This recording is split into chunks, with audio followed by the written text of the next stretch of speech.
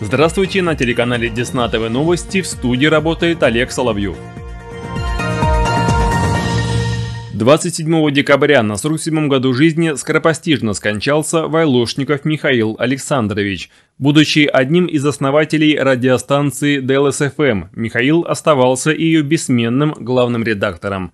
Коллективы ДЛСФМ и Десна ТВ выражают свои искренние соболезнования родным и близким – Отпевание состоится 29 декабря в 10 часов утра в церкви Воздвижения Креста Господня поселка Якимовичи.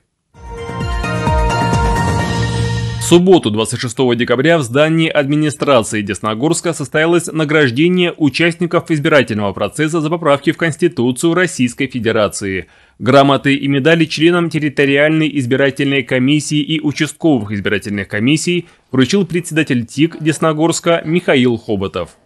От имени членов избирательной комиссии Смоленской области и от себя лично благодарю вас за компетентность, выдержку и твердость духа, ставших верным залогом высокопрофессионального проведения общероссийского голосования по вопросу одобрения изменений в Конституцию Российской Федерации на территории Смоленской области. Голосование за принятие поправок в Конституцию России проходило 1 июля. Всего же 15 избирательных участков города работали на протяжении 7 дней. Отличительная особенность прошедших выборов – особые эпидемиологические меры. До того, как это произошло, это было много, очень много вопросов. Помните все, да? Эти э, коврики, эти урны, эти маски, эти перчатки, эти экраны и тому подобное. Борьба за то, чтобы было чисто. Это награждение стало частью подведения итогов территориальной избирательной комиссии города за последние пять лет. Полномочия избирательного органа в его нынешнем составе окончатся с приходом 2021 года. Кто будет в новом составе ТИК, уже решила территориальная избирательная комиссия Смоленской области. Согласно этого постановления избирательной комиссии Смоленской области, новая комиссия в составе 7 человек назначена.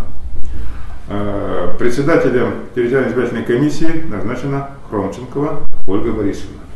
Полномочия Михаила Хоботова в качестве председателя избирательной комиссии города Десногорска истекают 31 декабря 2020 года. Одним из немногочисленных творческих мероприятий нынешнего года стал фестиваль-конкурс «Созвучие мирного атома», Проходив в заочной форме в ноябре, в нем приняли участие музыканты из атомных городов России, Венгрии и Республики Беларусь. От Десногорска выступили воспитанники Десногорской музыкальной школы имени Глинки. Общими усилиями наш город занял в этом конкурсе второе место. Организатор фестиваля Фонд содействия развитию муниципальных образований Ассоциация территории расположения атомных электростанций дарит нашим обучающимся денежные сертификаты магазина музыкальной литературы «Дом нот» города Санкт-Петербурга. Сертификаты и дипломы участников 26 декабря получили 8 человек, юные музыканты в возрасте от 10 до 14 лет. Они достойно выступили в четырех выбранных номинациях – фортепиано, народный инструмент, инструментальный ансамбль, струнно-смычковые инструменты. При этом участники отметили специфику выступления в условиях пандемии. Часто бывало так, то, что школа была закрыта, э, и мы не могли встречаться вместе и нормально проводить занятия.